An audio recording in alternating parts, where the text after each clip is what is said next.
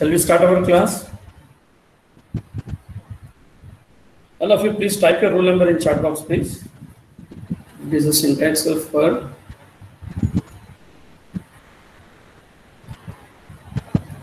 initialization, semicolon, testing condition, semicolon, increment or right? You have some sort of statement inside the for block, then followed by the next statement, right? This block I'm calling as for block. So the execution of first statement, how does it happen? First initialization will happen, then condition is going to be tested. If the condition is true, the control will be allowed inside the for block. After executing this for block, uh, where the control comes to increment or decrement, right? So after then again, condition will be tested. Again, if it is true, again you are allowed inside, then increment, decrement, then you know, condition is going to be tested. Like that, how long it will be in a loop? It will be in a loop until the condition is false, right? When the condition is false, uh, the control comes onto the next statement, right? So we'll see some more problems uh, to be solved using for loop. Okay. I don't write a program to find sum of digits of a number.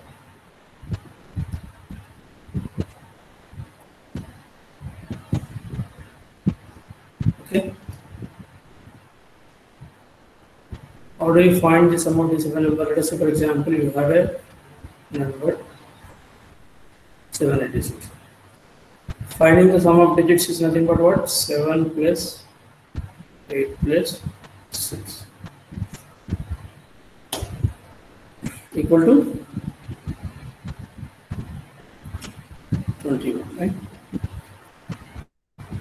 So here, in order to sum the digits, we need to get the digits separately, right? So we can devise a logic here.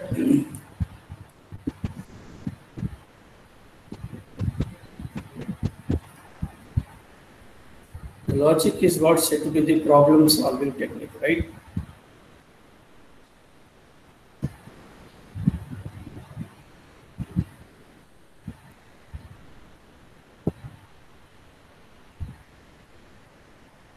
Okay. So here I'm doing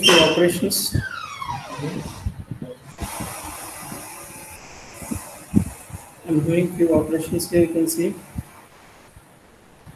I want to divide this n with 10 and take the remainder out of it, not the quotient.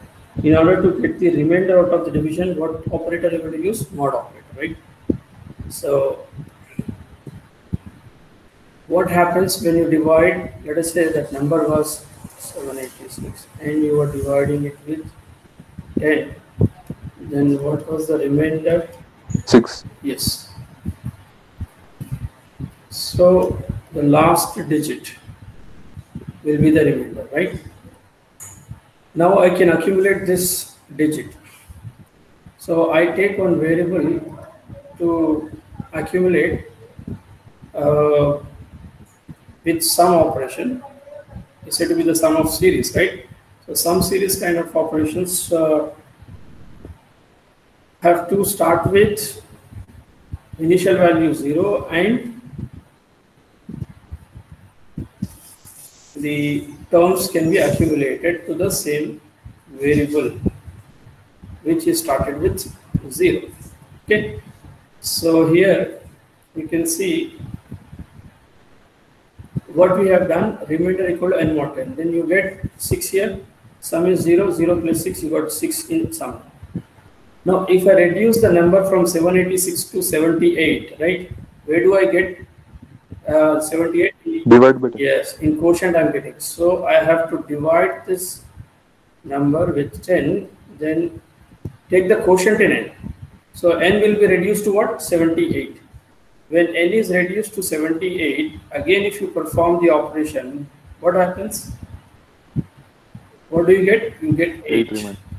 So earlier in sum it was 6, now it is 6, uh, sorry 8. 6 plus 8 is going to be 14 here, right?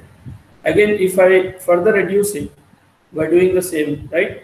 When I, because now n is 78, right? If I again divide it with 10 and get the quotient out of it, I'll get 7 here. Then again I perform 7 mod 10, I'll get 7. So I can accumulate that, right? Like that, I can repeat this. How long? Until there are no digits left in the number, right? Fine. So um, I can probably repeat this uh, for how many times? If the number is having three digits, then this logic has to be repeated for how many times? Three times, okay? So if I have the number with small n digits, okay?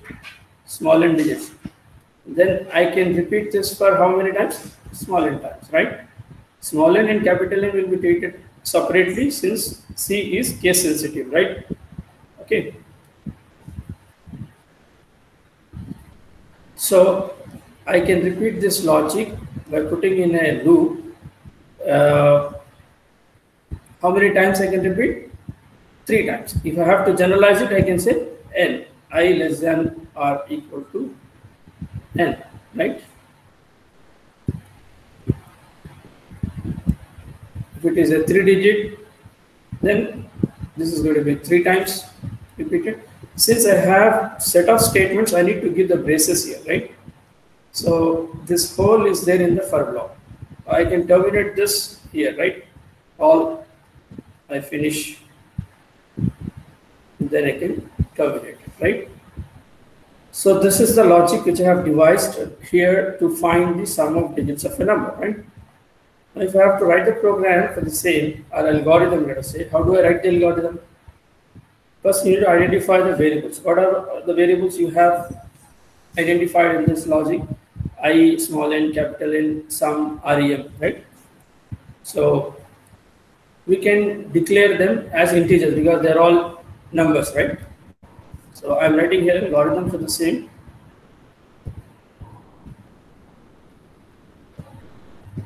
Sum of digits. Okay.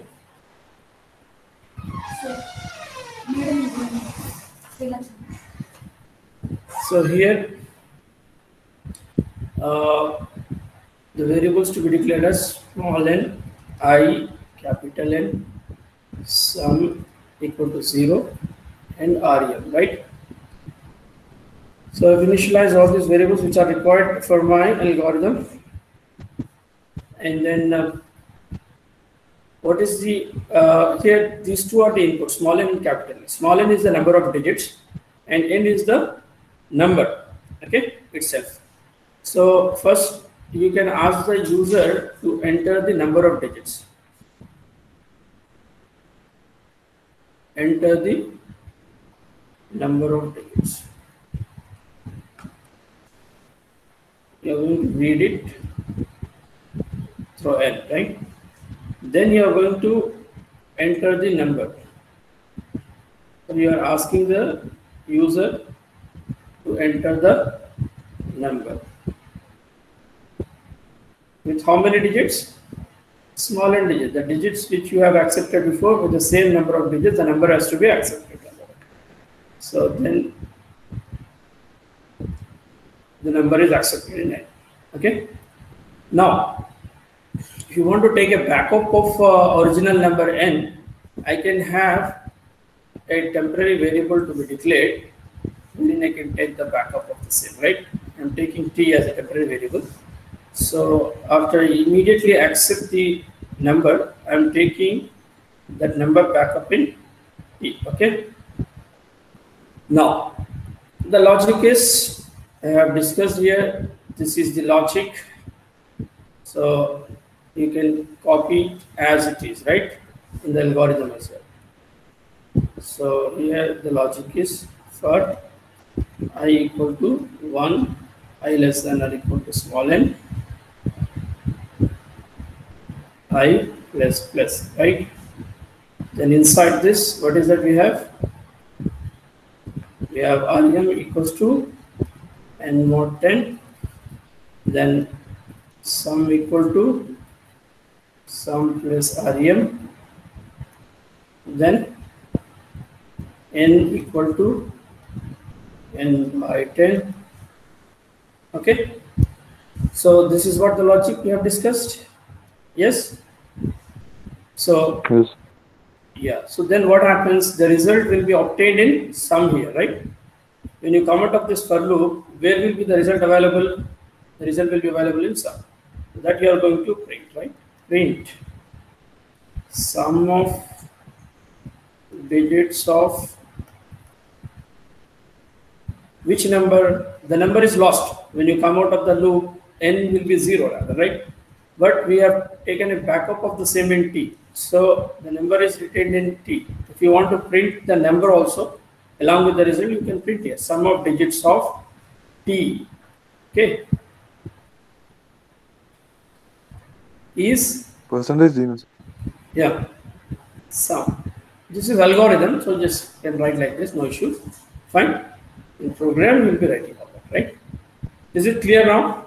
So you can then terminate the algorithm right? Algorithm you can write you know c like kind fine because this is the notation followed by Goodrich Tamassia you can use this uh, notation also. Uh, similar to C program itself you can see it in, but uh, need not to follow the exact syntax. If there are some syntactical mistake like semicolon missing and all that doesn't matter. Okay this is how you can write the algorithm for some of these. But it, now if I have to draw the flowchart for the same how do I draw the flowchart? Fine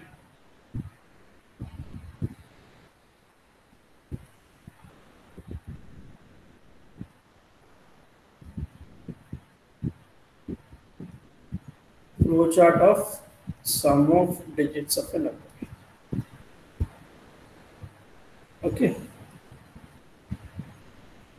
You start with start, right? Start is represented with ellipse. Then what is the next step here in algorithm? After you begin, you have declaration, right? N I N S U M equal to 0 R E M T and all, right? So the declaration will be done using the rectangular box. So you can say uh, declare, you can write like that also, no issue, or you can just say NIN, right? NIN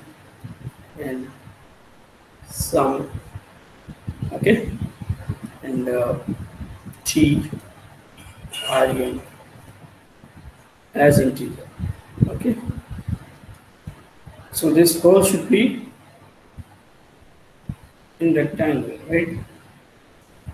So the rectangular box I'm drawing here. What is the next step in the algorithm we have here? Print, enter the number of digits. Here you are accepting small n, right? So it's an input kind, right? And this is also input. Uh, I can combine both of them in a single box also, no. So this is input of small n and n, right? So I say here read and capital N, right? And as well sum to be initialized as zero, right? So initialization part I am putting here inside the parallelogram. Okay. Okay. So this is the next step. This is initialization part. After you start declaration part we have done, next thing we have done is the initialization part, right? The next is the logic. This is your logic, right? So here, of course, before that you have something like t equal to n, you can do that. That is also kind of uh, initialization. So you can have t equal to n.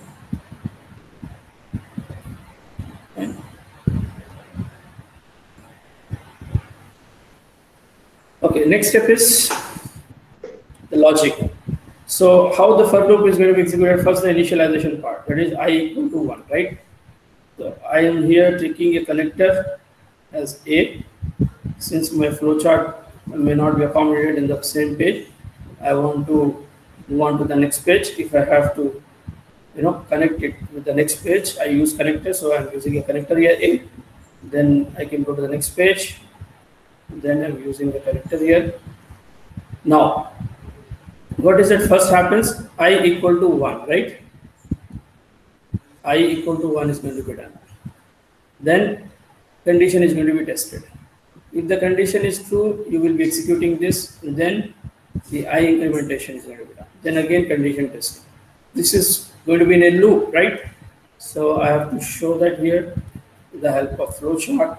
So first i equal to 1, right? Then i less than or equal to small n is going to be tested here. Fine. If the condition is true, what happens? You have some set of statements to be executed, right? Because you are a load inside, right? You have these three statements to be executed.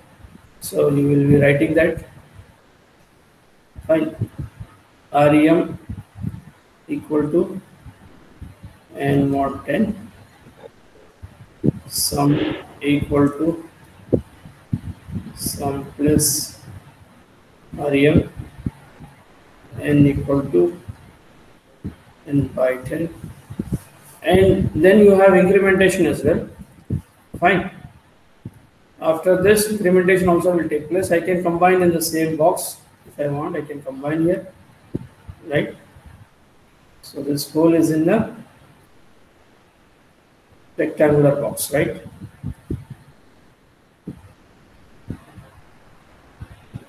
Fine. So after this where do you go? Again you go for testing the condition. Yes sir. So, yes. So here when the condition is false the condition is false you come out of this for loop and then you know read the result right? Yes sir. I'll again start it right from the beginning you start first, then you are doing the declaration part, declaring all the variables required, then you are doing the initialization part, what all the inputs required you are initializing, and then you're taking the backup of n and t after you accept n, and then since your flowchart is exceeding from one page, you are taking a connector, and then with the connector you are trying to connect your you know next page flowchart run to the first page. Now the next step that you have to do here is to represent the for execution infer how does the execution takes place? First initialization then condition is going to be tested. Once the condition is true you are executing the for block and then increment again condition tested. Uh, no when the condition is again true you'll be allowed inside executing this coming back to the increment and then going for condition testing. Like this you'll be in a loop. How long? Until the condition is false. When the condition is false you come out of the loop and then the result right? That is what we are trying to here depict with the help of this flowchart right First initialization, the condition is tested, i is equal to n. If the condition is true, then you will be executing all the instruction available in the for block. Then you're incrementing, again you're going for testing the condition, right? And again the condition is true, you are again a loading side, you'll be you know, incrementing and then condition, again testing the condition. How long you're doing, uh, you know, since this is a loop, I am, you know, I have given a loop kind here, right? So this is going to be repeated. How long until the condition is false, right? When the condition is false, you come out of the for block and then you can see you're printing the result, right? So here you are going to print the result. Print. Uh, the result is available in sum, right?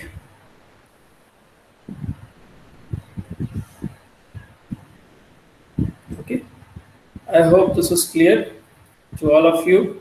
Now you can stop the flowchart because your algorithm is terminated. So you can see here right from the beginning, I'd like to again recall, see you are given a question here, write a program to find the sum of digits of a number. First thing what you do is you need to identify the logic behind. How can you do that? By analyzing the problem. So this is said to be problem solving technique, right? Once you understood, uh, you know, the problem, only then you can devise a solution for it, right? So once you provide a solution for it, that is nothing but your logic behind executing your task, right? So once the logic is ready, you can go for writing an algorithm, right? How do we write an algorithm? four basic steps, as I've explained you at the beginning. You will have to identify what all the variables required in order to execute it. And then you have to identify their type. Then first do the declaration part. First part comes the declaration. Then identify the inputs out of it. Initialize the inputs. That is the second part. Then your logic which you have devised for your problem to be solved. Right. That is the third step. Then comes the output. Right. The output display. So you can see any you know C program will have these four basic steps, and that will be in the same sequence, right? Right. Declaration must be at the beginning and initialization next. Then you will have your logic, uh, includes arithmetic logical operations and all such kind of operations you require. Then you are printing the output, right? So once the algorithm is ready, you can draw the flowchart for the same using the flowchart symbols. That will help any novice person to understand what is the flow of your program. Fine. I hope this is clear to all of you. Now we can write the program for the same we can uh, write it in the uh, online compiler and try to execute the same. Okay. So here I'm opening the online compiler, online gdb.com, which you press in the URL, you will find the online gdb.com. In order to log in for the same, I just have to say login.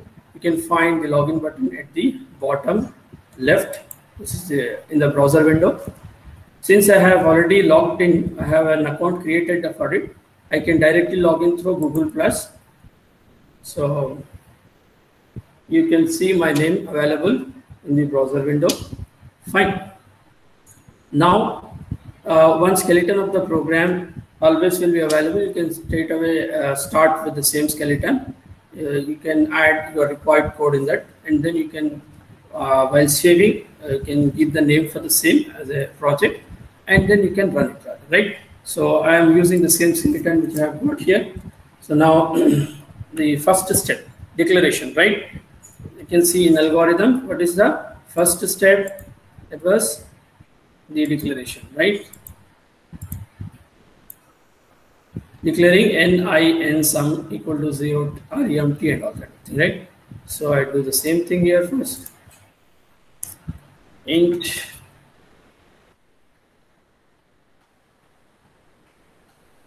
i comma small n comma capital N, right? Here small n I am taking it for accepting the number of digits and capital N I am taking it for accepting the number and the number which I accept must carry the same number of digits which I have accepted in n. Okay, that must be the condition. n comma sum equal to 0 I can initialize a variable at the declaration part like this also, right? Uh, then I'm having rem to hold the remainder, right? And then I want a backup for which I'm taking t temporary variable. Okay, so these are the variables I require. What is the next step I have? I'm showing you how I'm transforming the algorithm to program, right? You can see first thing after doing the declaration, I'm accepting small n then I'm accepting capital N, right? So I'll do the same thing here. How do I accept the value from the keyboard with the help of scanf? But before scanf, we'll be giving a printf to make the user to know what he has to enter, right? Enter the number of digits. What he has to enter here first? Enter the number of digits.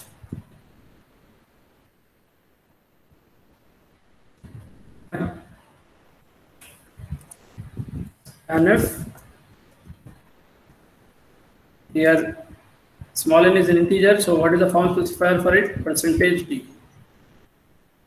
Double quote comma. Wherein i have to accept in small n. So ampersand small n right? Semicolon. Okay. I have to again accept uh, capital n right? And uh, capital n is what is the actual number. So while in a user has to enter the capital N value, he must have to know that he has to enter the number with these many digits. With how many digits? Small n digits. So enter the number, I say, with how many digits? With percentage d digits, right? Percentage d.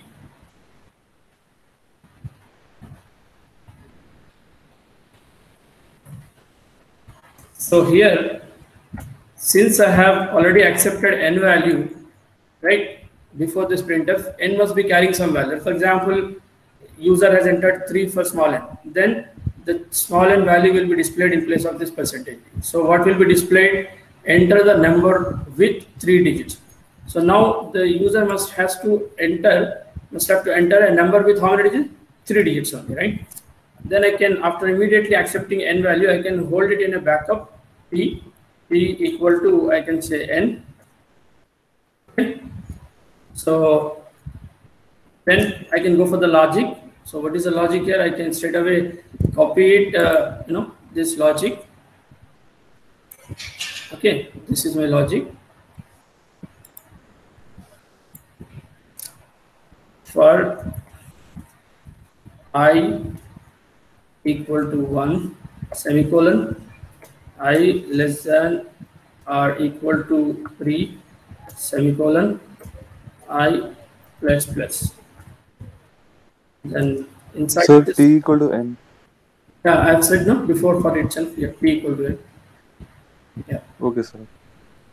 Now uh, inside the for what is that we have? Uh, the logicals rem equal to n mod 10, right? N mod 10 then Sir, i less than or equal to n, n no, sir. yes exactly. Small n right? Small n. Good. Sir. yeah. Sum equal to sum plus rem right? Okay. So what is the next step we have? n equal to n by 10 n must be reduced right? N equal to n by 10 okay? So when you come out of the loop you will find the result which you are going to print. Printf uh, sum of digits of where is the number number available in t because the actual number we have taken in n initially, but it will be reduced to zero when you come out of the for loop, right? I want to display the number as well. From where I can take, I can take it from t. Since I have taken the backup of the same before I have sent the n value to the logic in t, so I can make use of that, right? So sum of digits of uh, percentage t, that is the number, equal to percentage d. So in first percentage d place i want the number. Number is available in d. And uh, the result in the second percentage d. Where the result is available? Sum right? Got it. So now the program is completed. Okay? So let us first save the program. Give the name as sum of digits using for save it. Now choose the language as C language because as we know that this compiler can be used, this online platform can be used for many of these languages. Fine. So we wanted to use C compiler out of this platform. So we have choose we have chosen C here. Then we say run. Okay. You can see enter the number of digits is you know this one is displayed i will increase the font size here. It's already large. And i think it is visible right to all of you? Fine. So i am here giving let us say yeah three three as the number of digits. Then what happens? He will ask me to enter a number with how many digits three digits only let us say i have i am entering seven eight six and you can see sum of digits of 786 I got as 21. So is it clear to all of you? Yes, sir. Yeah. So once it, once it is saved, you can see in my project this is been added rather, right? So if you go to my projects, you can see, you can search here sum of digits of a number using for, you can see it is available, right? So this way all your projects get added up in your account. So anytime probably before first internal or before second internal, uh, we will probably check your account to ensure that whether you have done all your programs or not, right? So like this, you can probably execute the programs, fine. I hope this is clear to all of you. Any doubts?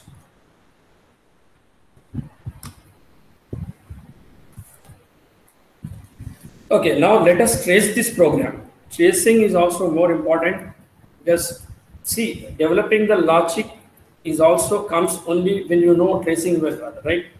Uh, I just wanted to verify. Fine. I just wanted to verify this algorithm.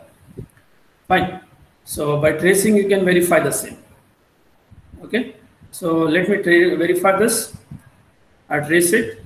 So here we have these many variables n, i, n, sum equal to 0, rem, and t. So I'm taking all these variables here.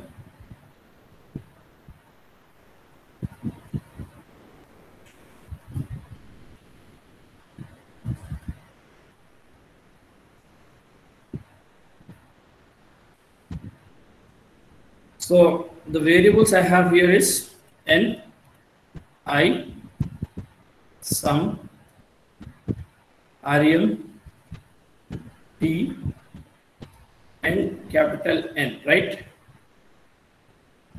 Fine. So what is happening? First thing is that happens is the value of small n to be read. Okay. So you are reading the small n value. Let us say small n value is read as 3. Okay. And you can see at the declaration part itself, you have initialized sum value as 0 so sum value will be 0. And then you are accepting capital N. Let us say you are accepting the value of capital N as 786, which I have done it for the execution, which I have shown before, right? Fine, sum is 0, small n is 3, capital N is 786. And we are taking the backup of this capital N in T, right, before we go for the logic, right? So T equal to N when you say, what has happened here? T also have got 786. Now, the for loop gets executed. You can see what happens here in for loop. i equal to 1. The logic of for loop is i equal to 1. i value will be initialized to 1 first. So i value is 1 here. Then what happens? initialize after initialization condition is going to be tested. What is the condition here? 1 less than equal to small n. What is the small n? 3. 1 less than equal to 3 is true, right?